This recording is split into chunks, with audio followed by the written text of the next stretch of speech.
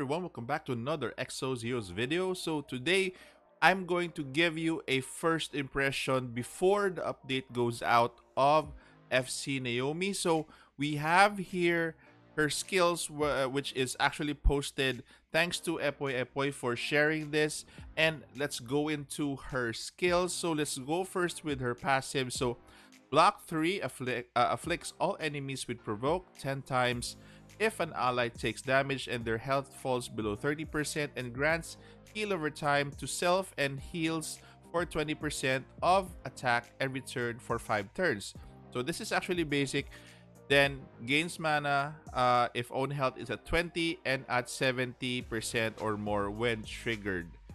Okay, next is your rigid body. So becomes immune to damage from share health. So she actually gives share health for her S1. So she gains immunity um, by receiving that damage. Her uh, her new skills are actually starting with uh, sorry, his new skills are actually starting with flag of providence. So increases defense by 20%.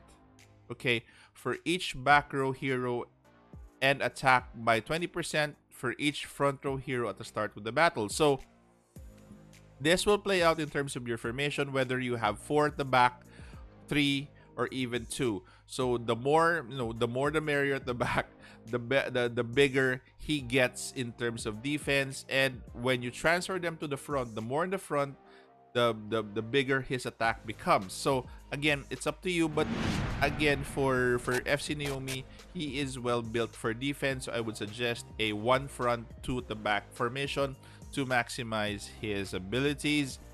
Royal Guard is his next passive, which is a mark. Sorry, Flag, Flag of Providence is also a mark. Royal Guard is actually a mark. Increases attack of an ally affected by Soul Bond. So you will need Dorka for this. And I hope that they would roll out FC Dorka as soon as possible. Because again, we need her.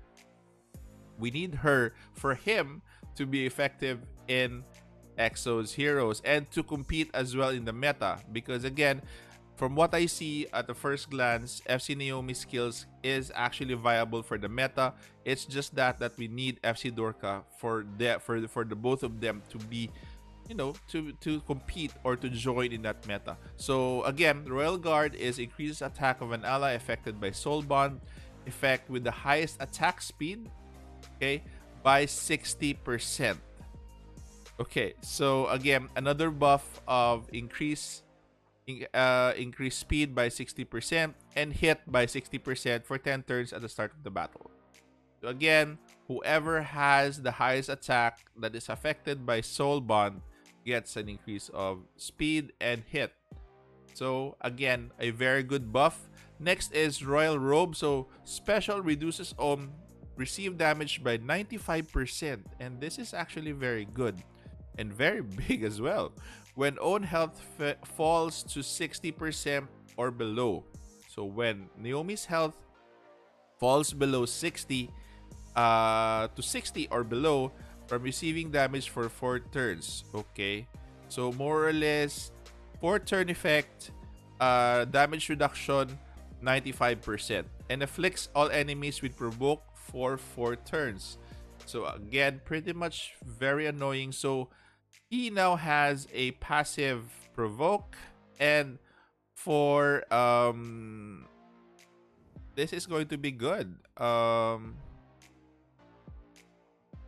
this is going to be good. Passive provoke for four turns and one time per battle. Okay this is only one time but this is going to be crucial actually the four turns will be crucial because they're going to be so much very very distracted and you can take advantage of your enemies by this time. So again, so two provoke skills already. So one for block three and one for Royal Robe. So he is actually again the Great Wall of Brunn as they say here and more or less he's going to be tough as nails and um very good to pair with I see a good pairing here with uh, of course, Wasted Red. Um, next would be, I think, a good pairing with um, if you put this in Lenombe, they would be crazy good as well. Um, and more or less, if you mix this up with, uh, I'm not sure who else, Greenland, the defense would, would would would greatly be improved. Um, I just hope that if you try this, if you try Dorka FC Neomi with um with Stories, that they would actually benefit from this as well because this is more on defense and they would be more viable now. So you have Dorka, FC Dorka, FC Neomi, just in case Dorka comes out, FC Dorka comes out. You have FC Jin, Janai, FC Shell, and let's say you have their FC Adam. So I think it would be they would be viable as well. Cross my fingers, cross my fingers that I'm I'm correct on that assessment as well. So let's go to um S1, so proving oneself. So active one, required mana is three. Effects are increases own maximum health by 30 37%. So you have to, you know, you have to make sure that you increase his health because this skill will scale up his own maximum health as well. So awaken with red all the way and uh, have once awakened equip for red then the others would be um, randoms so that you could be um, you would avoid li- limit broken. That is actually what I do. And buff increases all defense again by 30%. Uh, sorry, 37%. So again, increases both health and defense. So you have to increase both uh, health and defense. And it's actually difficult to choose for this one. So self, increase own health buff, increase own. Yeah, more or less the same. So again, both you have to choose whether to prioritize health and de- uh, defense when you when you build FC Neomi. Um, again, base a base would of health would be would, be good than the rest. Then after a weekend, probably defense. I, I, I take that one back in terms of all red. So you have to build his defense. Then he has a share health with all allies for 16 turns, and which is crazy ridiculous because that is 16 turns.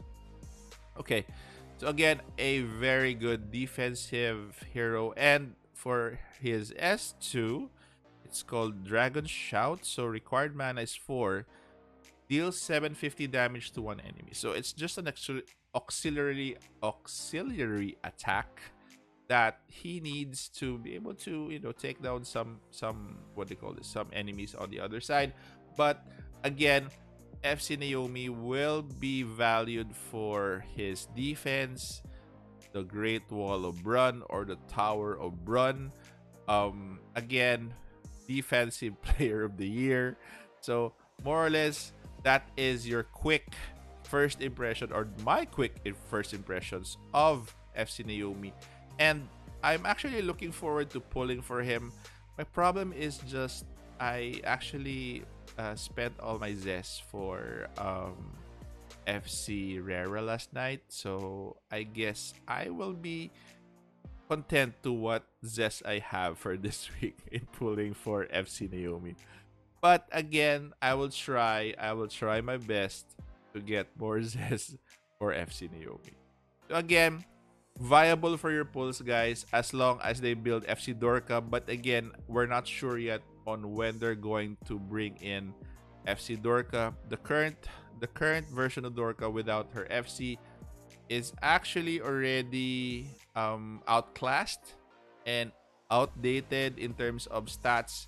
She's actually at the bottom already. Bottom from my account, bottom three, uh, three, the third line already in terms of top heroes because again the others have um, core memory uh, maximized um, um, signature force so again um, she cannot be used or be viable right now in pvp uh, i'm sorry but she needs badly her fc so again fc neomi a must pull. Um, if your intent if your intention is to build brunn and if your intention is to splash both in the future FC Dorka and FC Neomi to other teams, then he is a must pull because he needs um, FC Dorka for one skill only, But again, that one skill, Royal Guard, is actually also a game changer. And aside from the defense that he that he gives. Okay. Anyway, guys, that's it for me. I'm going to keep this short because I know you guys are excited for the update. So, again, thank you for staying in this, you know, staying this far in this video. So, if, if you're here, please do subscribe. Um, this helps my channel a lot. Thank you guys. Stay safe. Take care. This is the Warden, and I'm out of here.